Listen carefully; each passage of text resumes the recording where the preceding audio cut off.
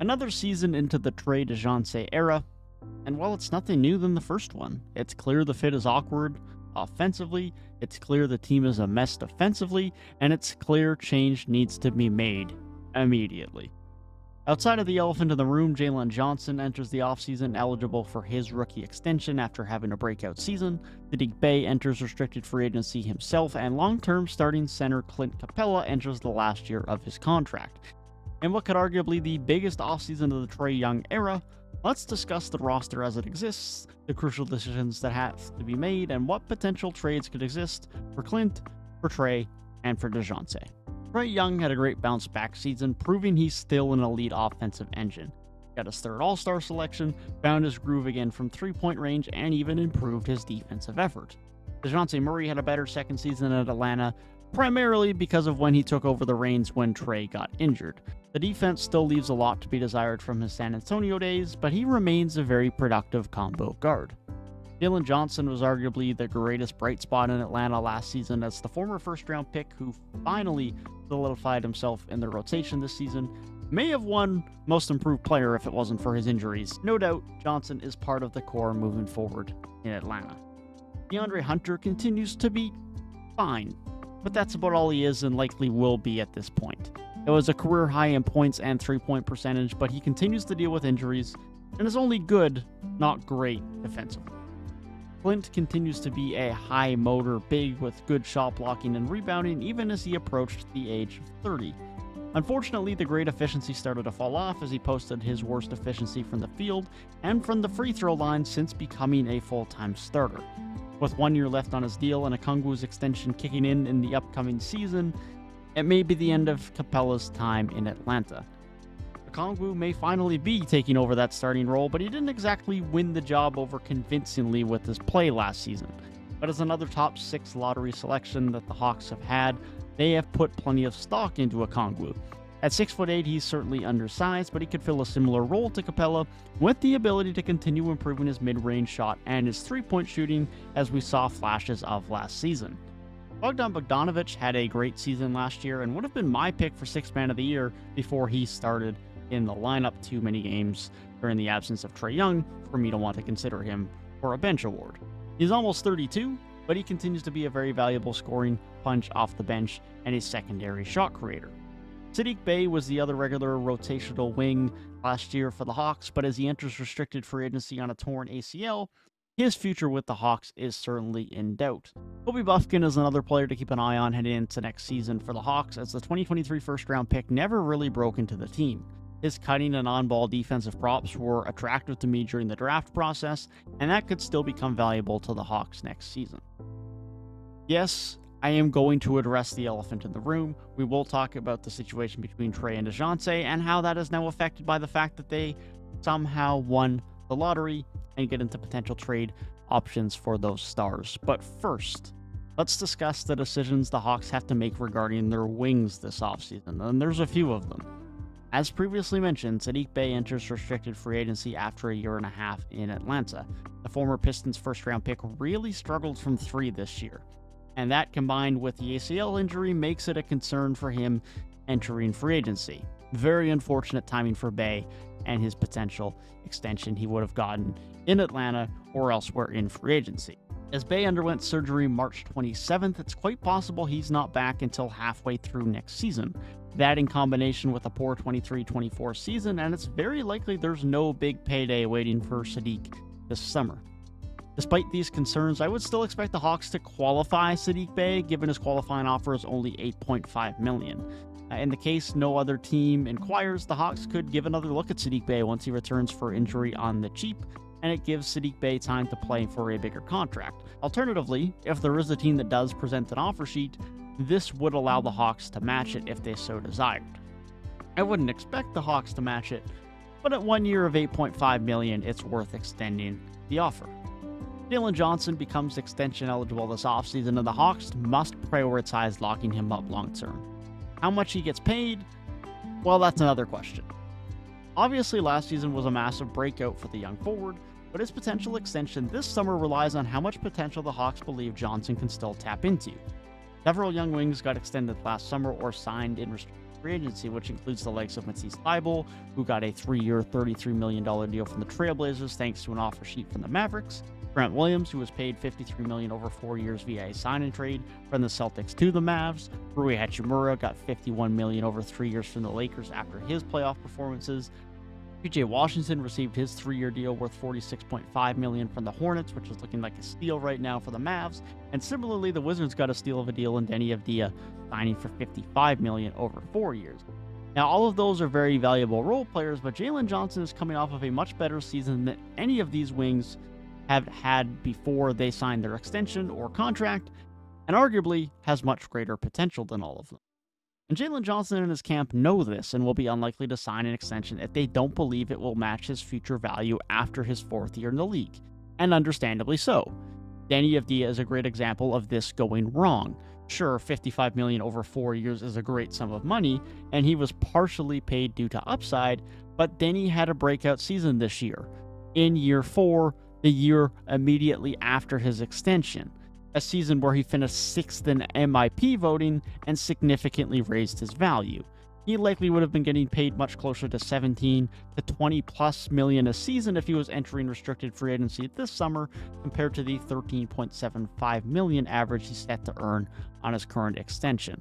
A more accurate comparison for a potential Jalen Johnson price point may be the five-year 131 million extension that Jaden McDaniels earned last season.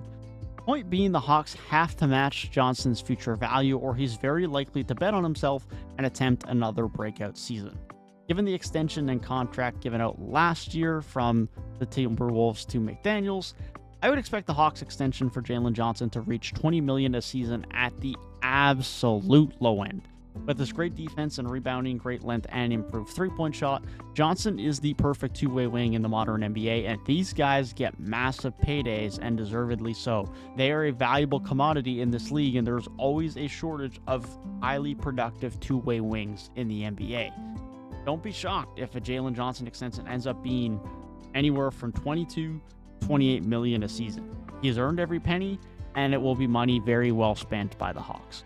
Another player who could get extended this summer is franchise cornerstone Trae Young. Now, whether the Hawks are going to extend Trae Young or not, of course, will depend on what direction they are headed this offseason. If the plan is to trade DeJounte Murray and fully commit to Trae Young, offering the max extension makes sense to push a potential unrestricted free agency further down the line. However, if the plan is to trade Trae Young, obviously he won't be extended. And even still, even if the extension is offered, there's no guarantee he's going to accept it.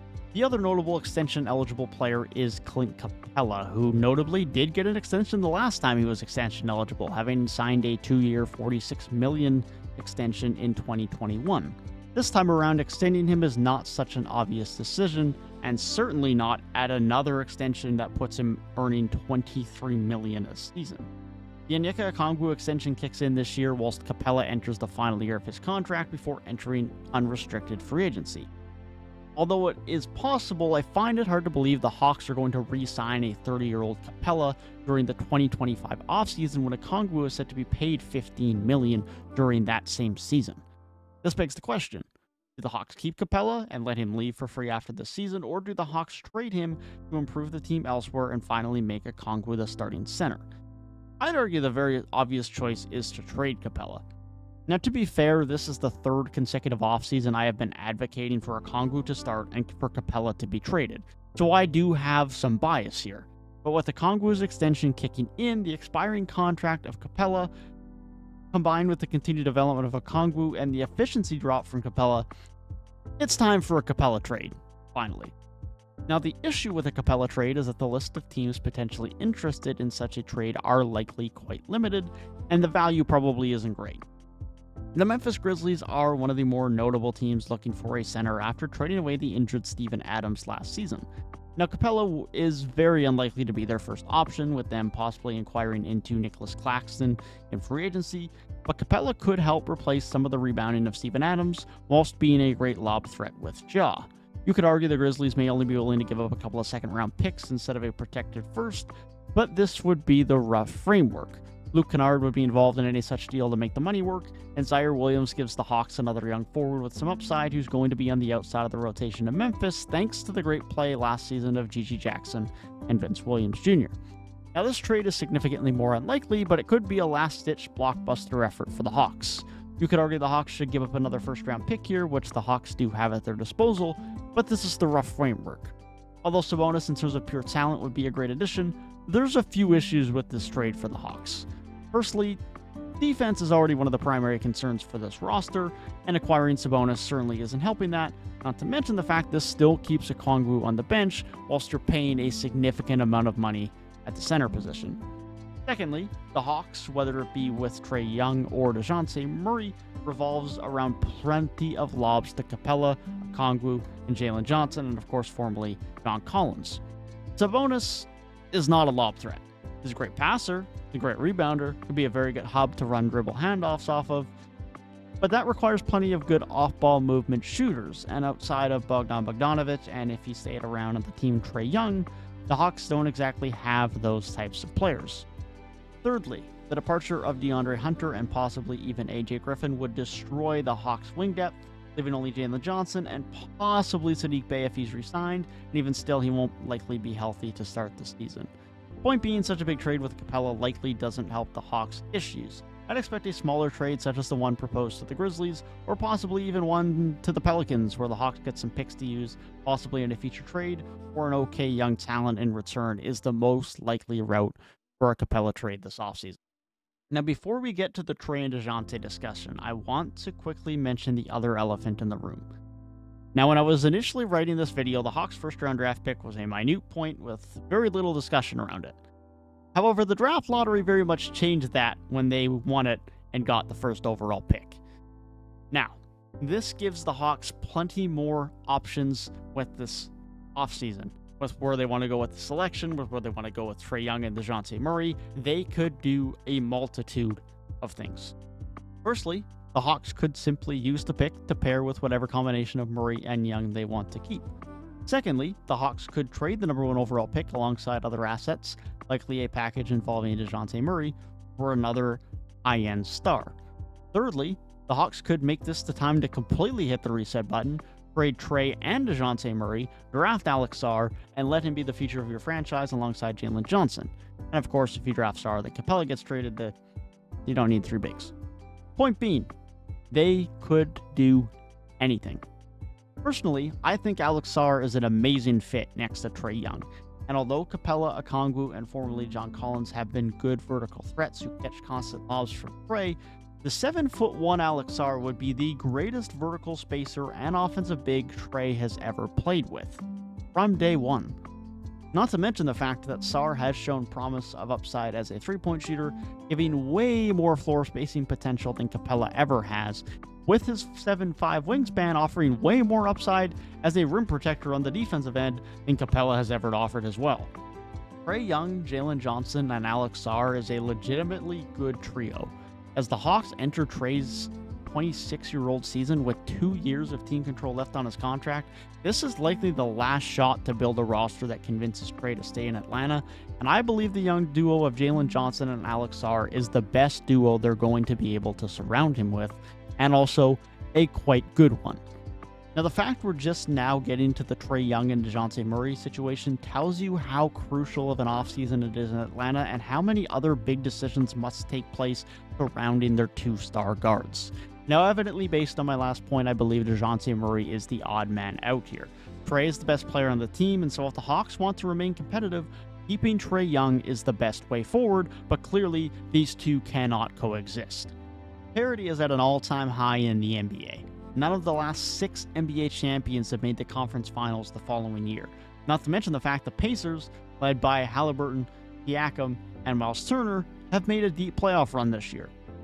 Trae Young, Jalen Johnson, and Alex Sarr won't be there next season, nor do the Hawks have the high impact role players the Pacers currently have, but the Hawks core has the chance to develop up to that trio of the Pacers, and the DeJounte Murray trade gives the Hawks the chance to add more quality role players.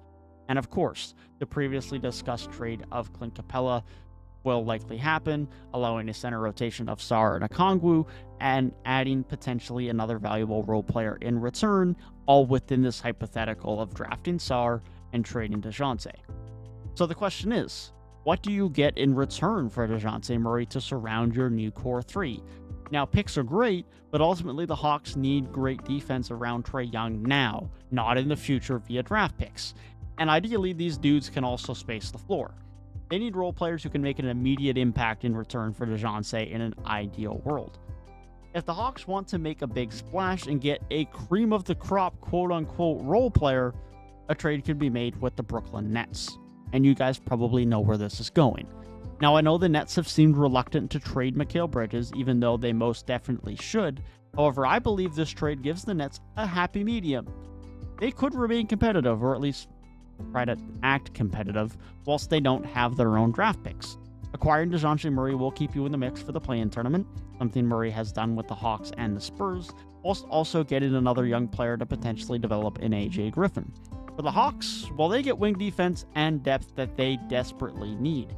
Trae would have a new second option in Mikal Bridges, a second option who is much more comfortable playing off of the ball and is a significantly better defender.